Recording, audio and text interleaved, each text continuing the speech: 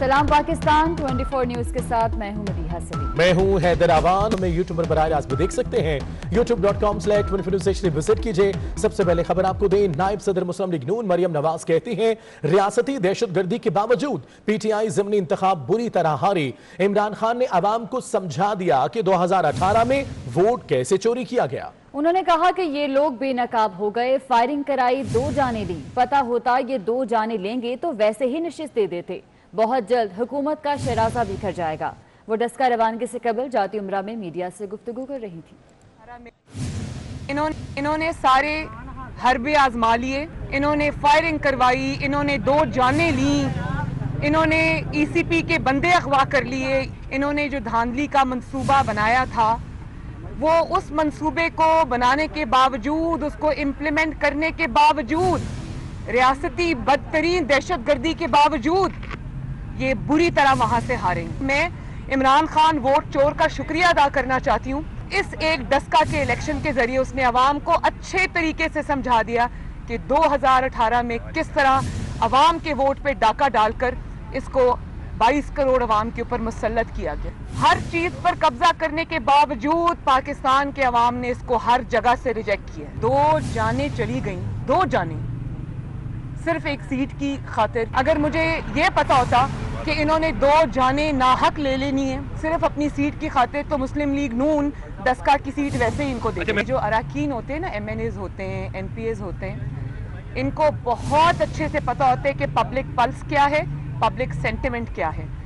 सबसे पहले इन्हीं को पता चलता है क्योंकि ये लोग हल्के की सियासत करते हैं अपने हलकों में जाते हैं आवाम की बात सुनते हैं। और ये वन टाइम एक चीज़ थी जो हो गई जिसका नाम इमरान खान है जिसको हमारे सरों पे मुसलत कर दिया गया। अब इनके एमएनएस और एमपीएस को भी पता है कि अगला ना कभी पहले इमरान खान पहले आ सका ना अब दोबारा आएगा। तो वो अपने अपने मस्कन ढूंढ रहे हैं इधर उधर और अपनी अपने आप अपने पॉलिटिकल फ्यूचर जो है वो सिक्योर कर रहे हैं। आ, मैं ये समझती हूँ कि बहुत जल्दी इनका शराजा बिखरेगा इंशाल्लाह। थरपारखर के नवाही गाँव में पोलिंग स्टेशन पर नौजवान माजूर और उम्र रसीद अफराद बड़ी तादाद में वोट देने पहुँच गए। मजीद बता रहे हैं अमीन डिप्लाई। अमीन बताएगा सूरत हाल क्या है यहाँ की?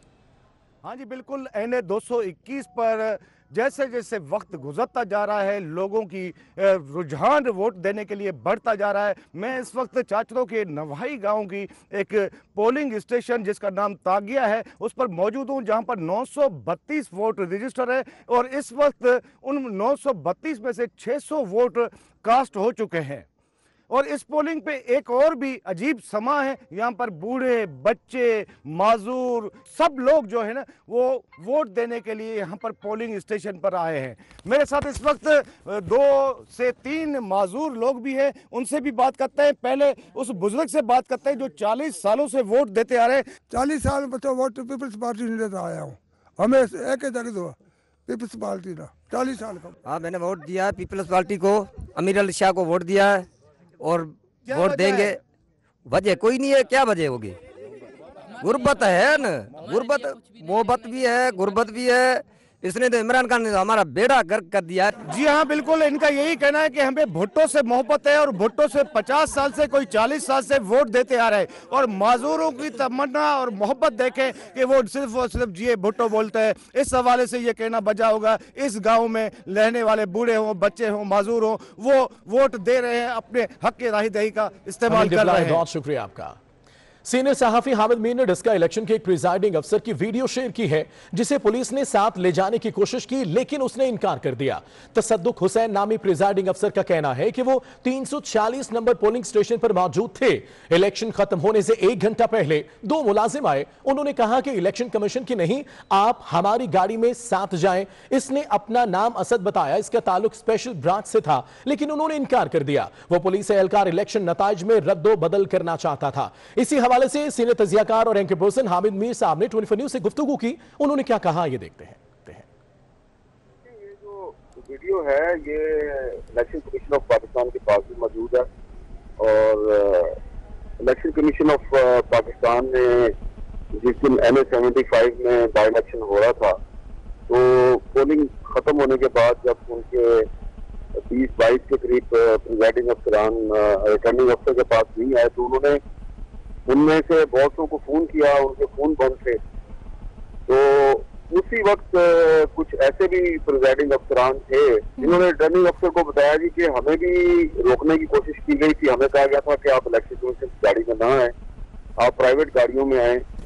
और लेकिन हमने ये बात नहीं सुनी तो शायद जो लोग नहीं आए, उनको कहीं पे ले गए हैं। तो ये रिटर्निंग अफसर ने इलेक्शन कमीशन को ये सारी बात उस वक्त भी बता दी थी, और उसके बाद फिर ये एक अफसर जो है उसकी ये वीडियो भी इलेक्शन कमीशन के पास पहुँच गई थी। तो इसकी अब एक इलेक्शन कमीशन इंक्वायरी कर रहे हैं, इसलिए उन्होंने इलेक्शन का रिज़ल्ट भी रोका हुआ है। और हो सकता है कि इसमें कुछ लोगों को आइडेंटिफाई किया जाए, जो कि प्रिजाइडिंग अफसरान को रोक रहे थे और उनको ज़बरदस्ती अपने साथ ले गए। पोलिंग स्टेशन नंबर तीन सौ छियालीस पे as a presiding officer duty sir अंजाम दे रहा हूँ। तो एक घंटा पहले को दो मुलाजम आए थे वो कहते हैं कि वापसी पे आपने रिज़ल्ट जो लेके ना हमारी गाड़ी में प्राइवेट गाड़ी में जाना है। आपको जो इलेक्शन कमीशन की तरफ़ से मिली थी उसमें आपने नहीं जाना। आपने हमारे बंदे के साथ जाना है। और जिसका नाम उन्होंने मुझे असद बताया था। अच्छा तो वो कौन था? कि कोई आपको पता चले? वो स्पेशल ब्रांच से कह रहा था मैं स्पेशल ब्रांच से हूँ। अब ना तो उसने मास्क उतारा हुआ था ना उसने मुझे कोई आईडी दी है। बस उसने मुझसे ये कहा कहा कि आपने वापसी का रिज़ल्ट हमारी गाड़ी में साथ लेके जाना है। अच्छा आपका आपको क्या खदशा क्या है? खदशा ये है कि वो मेरे से वो रिज़ल्ट चेंज करवाएँगे। और अगर मैं नहीं करूँगा फिर मुझे वो थ्रेट करेंगे। तो तरीके कार क्या होता है इलेक्शन कमीशन इलेक्शन का तो ये है कि रिज़ल्ट जिस गाड़ी में हम आए हैं उस गाड़ी में वापस जाएँगे रिज़ल्ट जाकर आर ओ के पास जमा कराएँगे और उसके बाद फारग वो इलेक्शन कमीशन की गाड़ी है। हाँ वो इलेक्शन कमीशन हमें दी हुई है। उसके ज़रिए आपने जाना है उसी ज़रिए उसके ज़रिए हमने सारा सामान और अपने अमले को साथ लेके वापस आर दफ्तर जाना। अच्छा आपने आर को आगाह किया है? मैंने आर को बता दिया है। इलेक्शन ये मसला है वो कहते हैं कोई मसले हम कर लेते हैं। सबक विफाकी वज़ीर बीएनपी अवामी के सरबरा और बलोचिस्तान हुकूमत के इतिहादी सैनिट उम्मीदवार। अमीर इसरारुल्ला जाहरी ने दावा किया है कि चेयरमैन सैनिट सादिक संजरानी ने अपने पैगाम रसा के ज़रिए उन्हें पैगाम भेजा है कि वो उनके उम्मीदवारों के हक में सैनिट इलेक्शन से दस्तबरदार हो जाए। बसूरत दीगर हमेशा के लिए सियासत से दस्तबरदार कराया जाएगा। ट्वेंटी फोर न्यूज़ से गुफ्तु में उन्होंने मजीद क्या कहा, आइए आपको सुनवाते हैं। तो कुछ नहीं है। मैं कोशिश कर रहा था कि चेयरमैन सेनेट से हाल वाल करूँ, सेनेट इलेक्शन के हवाले से। बहुत रबते की कोशिश की, खैर, रब्ता नहीं हुआ। फिर मेरा, उसका एक मुश्तर दोस्त था, उसको मैंने पैगाम दिया कि चेयरमैन साहब को कह दे, अगर बात करना चाहे सेनेट के हवाले से तो मैं बात करना चाहता हूँ। दूसरे दिन रात को उस दोस्त का पैगाम आया मुझे टेलीफोन किया व्हाट्सएप पे। तो मैं कहा कि चेयरमैन साहब से बात हुई, वो बोलते हैं हाँ बात हुई है। तो चेयरमैन साहब ने कहा है कि उसको कह दे कि आपको वोट तो नहीं मिलेगा, बेहतर ये है कि हम आपके लिए कुछ मिठाई भेज देंगे। तो आप मेहरबानी करके ये सेनेट इलेक्शन से विड्रा करें। मैंने कहा, यार, मिठाई को मैं नहीं समझता हूँ कि क्या है, मिठाई कहते आप समझो ना उस बात को। मैंने कहा, अगर मिठाई का मतलब पैसा है तो मैंने बीस हज़ार रुपए अपने फार्म पे खर्च किया है तो यही चीज़ें हैं। तो इस पे ऐसा कोई मसला नहीं है, मिठाई मिठाई का हम पॉलिटिकल लोग हैं तो पॉलिटिकली बात करना चाहते हैं। परवेज खटक के भाई और सबक सूबाई वज़ीर लियाकत खान खटक ने कहा है कि मैं बेख्तियार वज़ीर था। वजारत वापस जाने पर खुशी हुई। आज मेरे दोस्त और कारकुन जश्न मना रहे हैं। पीटीआई के नाराज़ कारकुनों ने पीएमएल को कामयाब कराया। वो ट्वेंटी न्यूज़ के नुमाइंदे बाचा खान से गुफ्तगू कर रहे थे। मिनिस्टर नहीं रहूँ मिनिस्ट्री आती है, जाती रहती है। इस पे मुझे कोई फ़र्क नहीं पड़ता। आप देख लें कि लोग यहाँ जश्न का समय और क्या नाम है वजारत पे में कोई दुख नहीं है। क्योंकि एक बेख्तियार वजारत से अच्छे के ना पी टी आई के वर्कर्स खफा थे यहाँ, नौशहरे में तो उनमें से बहुत सारों ने अपनी मर्ज़ी के मुताबिक जिस की हमारी करना चाहते थे उन्होंने कर दी। यह वक्त हो एक ब्रेक आप हमारे साथ हैं। कराची में डकैती मजामत पर कत्ल होने वाले नौजवान का बाप गम से निढाल है। वालद का कहना है कि उसका जवान बेटा कौन वापस ला कर देगा? बेटे ने सब कुछ डाकों के हवाले कर दिया फिर भी फायरिंग की गई। मजीद जानते हैं दानियाल सैयद से। दानियाल बताएगा इस वाक़े से मुतलिक भी और बाप की क्या दुहाइयाँ हैं? जी, बिल्कुल, कराची शहर में गुजशत रात डकैतों ने फायरिंग करके उन्नीस साल नौजवान उसामा को कत्ल कर दिया डकैती मजामत की। उनके वालिद जो है हमारे साथ मौजूद है, उनसे जानते हैं कि बताइएगा वाक़ किस तरीके से रूनमा हुआ और अब तक पुलिस हुकाम ने क्या पेशरफ की है, क्या बताया आपको?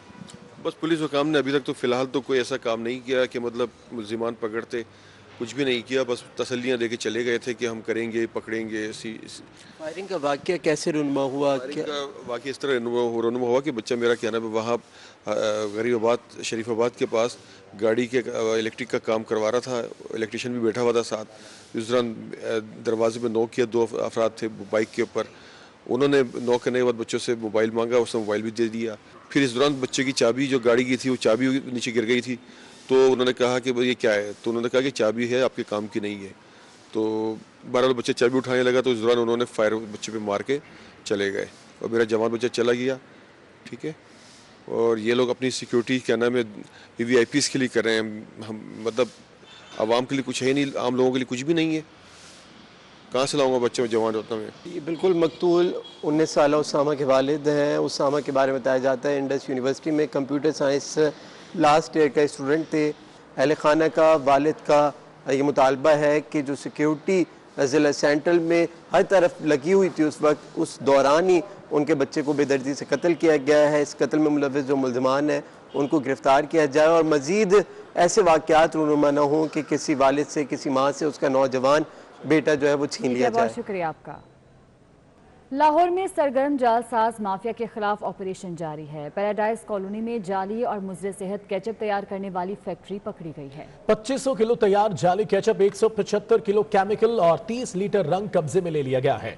फैक्ट्री को सील कर दिया गया है। लाहौर में सरगर्म जालसाज माफिया के खिलाफ ऑपरेशन जारी है। पैराडाइज कॉलोनी में जाली और मुजरे सेहत कैचअप तैयार करने वाली फैक्ट्री पकड़ी गई। कराची वालों पर महँगाई का एक और वार दूध के होलसेलर्स ने कीमत में दस रुपए फ़ी लीटर इजाफा कर दिया। All Karachi milk retailers association ने इजाफा मुस्तरद कर दिया है। हबीब खान से मजीद तफसरा जानेंगे। जी हबीब, बताइएगा। जी, बिल्कुल शहर कायद में फरवरी के महीने में ही दूसरी तंजीम की जानब से एक बार फिर दूध की कीमतों में इजाफे का ऐलान किया गया है। इससे कबल जो है वो डेयरी फार्मर्स की जानब से ऐलान किया गया था और अब जो है वो कराची मिल्क जो होल सेलर्स हैं, उनकी जानब से ऐलान किया गया है कि 22 फरवरी से शहर में दूध जो है उसकी कीमत में दस रुपये फ़ी लीटर जो है वो इजाफे के साथ फ़रोख्त किया जाएगा। इस वक्त हमारे साथ इसी वाले से बात करने के लिए मौजूद हैं all Karachi milk retailer welfare association के प्रेस सेक्रेटरी अब्दुल वहीद गद्दी साहब। इंशाल्लाह कल से दूध उसी पुराने रेट पर फ़रोख्त होगा और all Karachi milk retailer welfare association इस रेट को सख्ती से मुस्तरद करती है। डेयरी फार्मर्स की जानब से ऐलान किया गया तो उस वक्त आप लोगों ने कमिश्नर कराची को एक ख़त लिखा था। तो अभी कमिश्नर कराची को इस हवाले से कितना जो है वो अपडेट किया गया है रिटेलर्स की जानब से? जी जब से लेकर अब तक हम तकरीबन छः ख़त लिख चुके हैं और इन ताला अगर आज रिसीविंग हो गई तो आज भी बरोज़ इतवार हमारा एक ख़त वहाँ जा रहा है।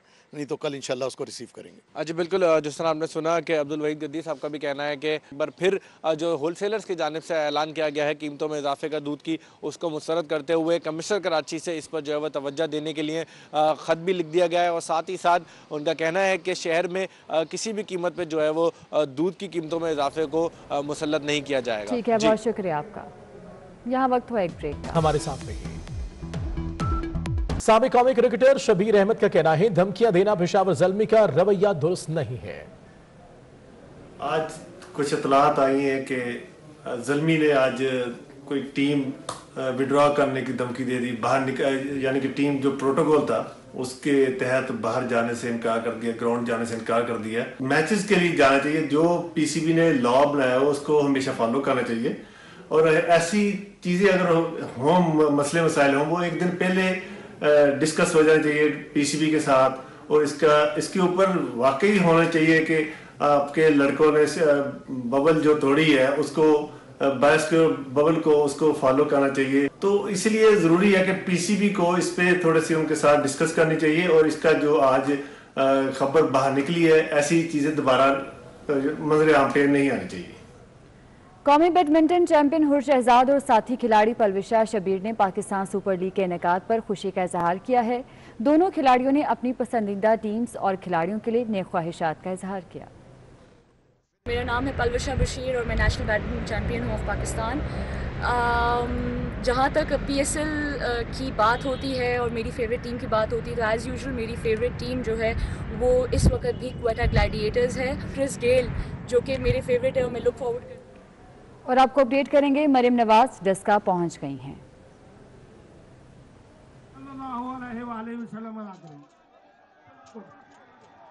जनाब चौधरी तनवीर अख्तर साहब।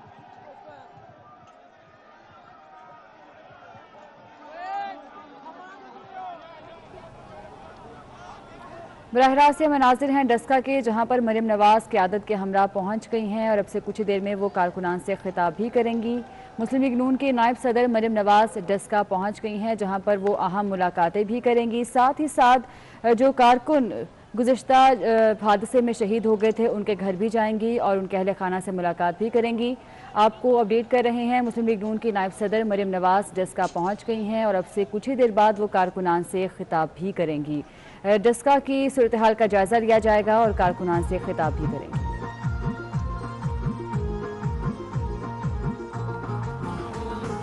पहुँच गई हैं। आपने मुलायजा की आपको मजीद भी दिखाएँगे मगर एक ब्रेक के बाद। आप हमारे साथ रहिए घोटकी में रेंजर्स की तरफ़ से ऊँट रक्स के मुकाबलों का इनका किया गया। मुकाबलों में मुख्तलिफ़ इलाकों से 20 से ज़्यादा ऊंटों ने हिस्सा लिया। तर्जुमान रेंजर्स के मुताबिक फाइनल मुकाबलों में बड्डू मेहर पहली पोजीशन और वसंत मेहर ने दूसरी पोजीशन हासिल की। घोटकी में रेंजर्स की तरफ़ से ऊँट रक्स के मुकाबलों का इनका किया गया। मुकाबलों में मुख्तलिफ़ इलाकों से 20 से ज़्यादा ऊंटों ने हिस्सा लिया।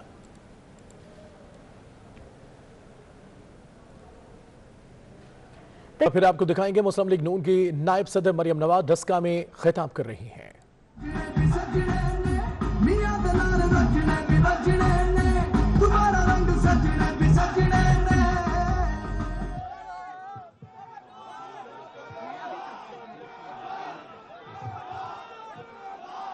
एक मिनट एक मिनट।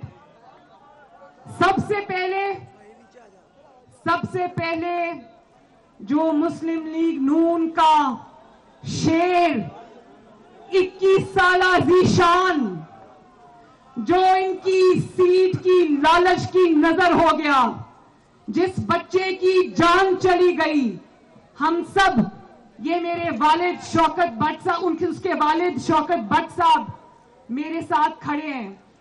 दस्का के मेरे बहादुर शेरों, हम सब मिलकर इनके साथ दिली सदमे और अफसोस का इजहार करते हैं, लेकिन मैं माइक इनको दूँगी और बताऊँगी, ये बताएँ लोगों को कि कितना बड़ा इन वोट चोरों ने जुल्म किया है।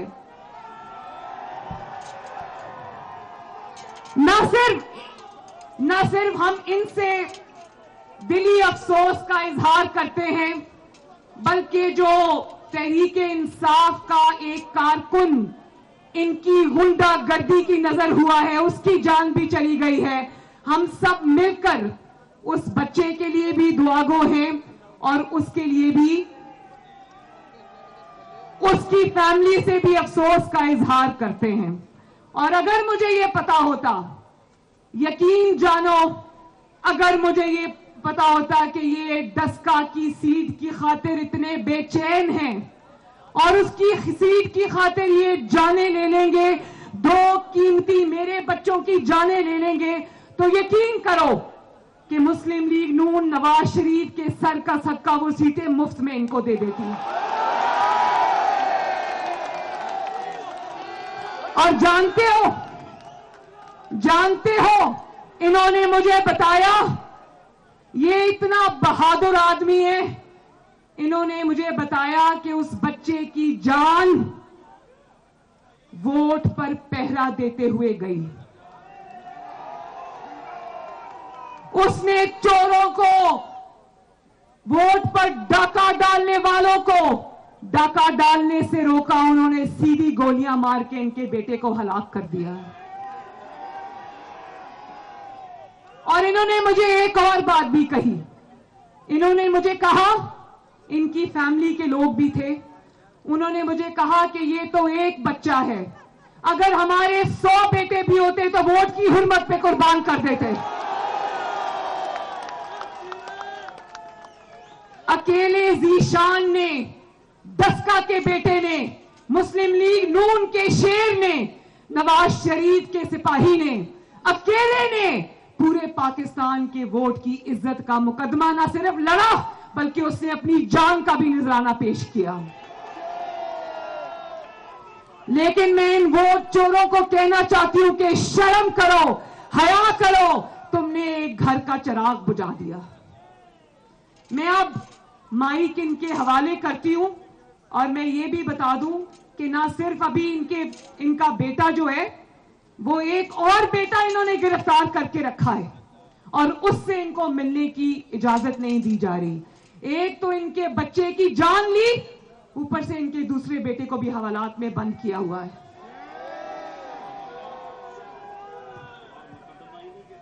और एक और बात, एक और बात, इनके बच्चे की जान गई। ठहरो, इनके बच्चे जीशान की जान गई। और जानते हो, एफआईआर और मुकदमा किस पर दर्ज हो रहा है? इनके अपने भाई के ऊपर। इनके अपने बेटे के ऊपर। बोलो शेम फिर से बोलो, आवाज़ नहीं आई।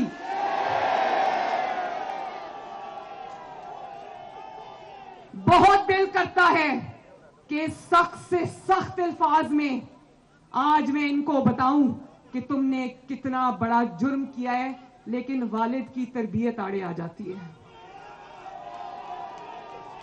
लेकिन यह भी बता दूँ कि जुल्म का हिसाब इस दुनिया में भी देना पड़ेगा और अगली दुनिया में भी देना पड़ेगा। बट साहब, मैं चाहती हूँ कि आप भी इनसे बात करें।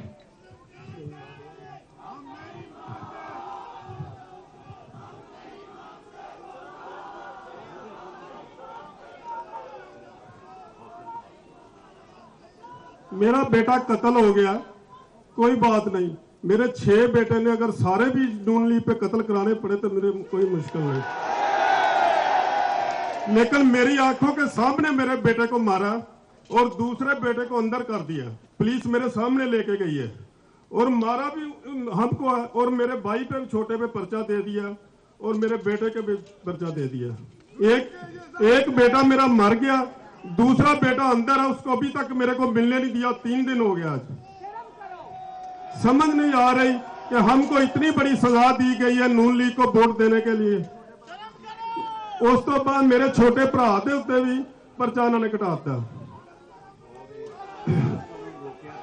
सिर्फ सिर्फ इन्नी गल है एक मिनट एक ਮੇਰੇ ਸਭ ਤੋਂ ਛੋਟਾ ਭਾਈ ਜਿਹੜਾ ਅੰਦਰ ਜੰਟ ਖਲੋਤਾ ਸੀ ਉਹਨੂੰ ਮਾਰਦੇ ਹਨ ਪੇ ਬੋਰਡ ਤੇ ਉੱਤੇ ਸਿਰਫ ਮੇਰਾ ਬੇਟਾ ਜਿਹੜਾ ਸ਼ਹੀਦ ਹੋਇਆ, ਮੇਰਾ ਜਿਹੜਾ ਮਤਲਬ ਹੈ ਭਾਈ ਛੋਟਾ ਅੰਦਰ ਜੰਟ ਖਲੋਤਾ ਸੀ ਨਾ, ਆ ਪੋਲਾਂ ਜੱਟ ਸੀ। ਉਹਨੂੰ ਮਾਰਦੇ ਹਨ ਤੇ ਮੇਰਾ ਪੁੱਤਰ ਅੰਦਰ ਬੋਰਡ ਪਾਉਂਦਾ ਪਿਆ।